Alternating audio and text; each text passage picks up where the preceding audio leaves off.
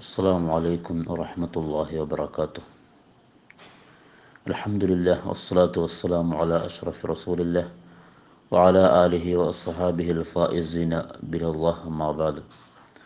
قال رسول الله صلى الله عليه وسلم من صلى علي في كل يوم مئة مرة قضى الله له مئة حاجة سبعين لآخرته وثلاثين لدنيا മൻ സല്ല അലയ്യ എന്റെ മേൽ ആരെങ്കിലും സ്വലാത്ത് ചൊല്ലിയാൽ ഫീ കുല്ലി യോമിൻ എല്ലാ ദിവസവും മിയത്ത മറത്തിൻ നൂറ് പ്രാവശ്യം സ്വലാത്ത് ചൊല്ലിയാൽ കലല്ലാഹു ലഹു അള്ളാഹു അവന് വീട്ടിക്കൊടുക്കും മിയത്ത ഹാജത്തിൻ.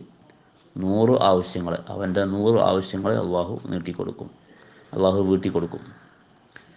സബിഅലി ആഹ്റത്തിഹി അതിൽ എഴുപതെണ്ണം പരലോകത്ത് വെച്ച് കൊണ്ടായിരിക്കും. പരലോക സംബന്ധമായ അവന്റെ ആവശ്യങ്ങളായിരിക്കും.